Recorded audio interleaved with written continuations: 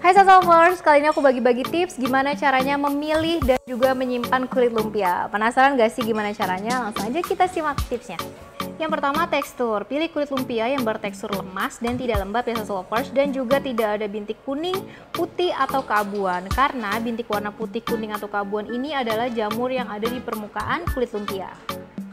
Yang kedua aroma. Nah cara ini paling gampang ya lovers ya. lovers bisa pilih kulit lumpia yang tidak ada aromanya. Jika terdapat aroma masam, itu artinya kulit lumpia sudah dalam keadaan tidak segar lagi. Dan yang terakhir cara penyimpanan. Untuk menyimpannya, lovers bisa simpan kulit lumpia dalam tisu dapur. Tisu dapur ini dapat menyerap kelembapan pada kulit lumpia, jadi kulit lumpianya tetap lembab dan dia tidak mudah kering. Selanjutnya, simpan dalam wadah kedap udara. Untuk menyimpannya, sasolvers bisa simpan dalam wadah kedap udara nih sasolvers. Bisa menggunakan kotak makan atau bisa juga dimasukkan ke dalam plastik. Dan yang terakhir, simpan dalam kulkas. Selanjutnya, sasolvers bisa simpan kulkas di suhu 0 4 derajat Celcius. Cara ini bisa bertahan selama 3 4 hari.